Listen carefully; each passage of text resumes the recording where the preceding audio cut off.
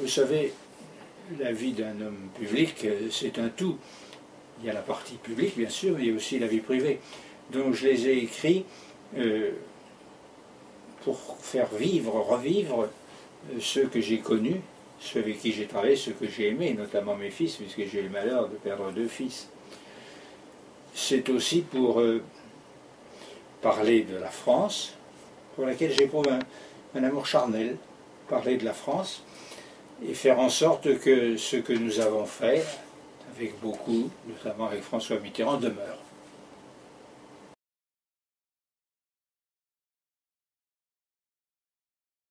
J'ai écrit, je m'en souviens très bien, du mois d'août 2002 au mois d'avril 2012, dix ans. Je travaillais le matin et le soir plutôt, je revoyais mes documents, car depuis 1991, je tiens un journal quotidien. Mais avant, j'ai gardé tous les papiers que j'avais pu avoir, privés ou publics. D'ailleurs, je vais remettre tous ceux qui me semblent intéressants très, prochainement aux archives nationales à Paris.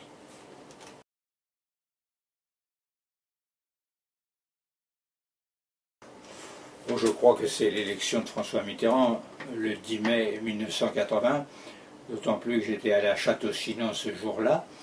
J'ai su un peu avant la proclamation officielle des résultats parce que les sondages sortis des urnes lui étaient communiqués qu'il allait être élu.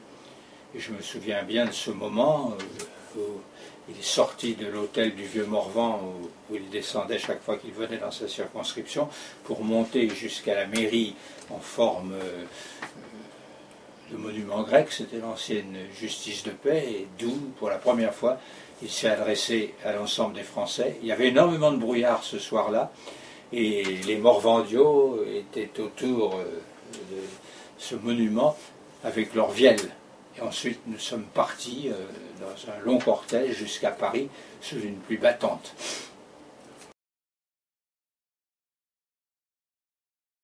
Alors je dirais peut-être l'événement le, le, plus rageant, c'est lorsque nous avons perdu l'élection présidentielle de 1974 à quelques 400 000 voix. C'est très peu au plan national. Je dis rageant, et puis alors énervant parce que le lendemain, je me trouve avec Charles Hernu, Georges Fillou, un ou deux autres camarades dans un petit restaurant, un café au bord de la Seine à Paris. Et François Mitterrand nous dit, à qui nous ne demandions rien, vous ne serez peut-être jamais ministre. On ne demandait pas à être ministre, on ne faisait pas carrière. C'était avec lui une sorte de saga qui durait depuis longtemps et qui allait continuer. Et il nous dit, regardez, Jaurès n'a même pas été sous-secrétaire d'État sous la Troisième République, mais il est dans l'histoire. Et avec François Mitterrand, on avait ainsi l'impression que, victoire ou défaite, on ne perdait jamais notre temps.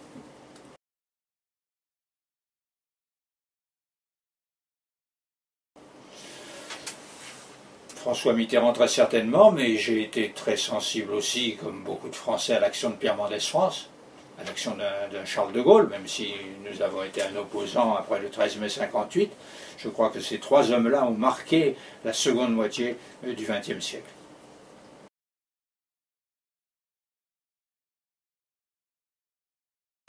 Oui, il y a une vision de l'avenir de la France, bien sûr.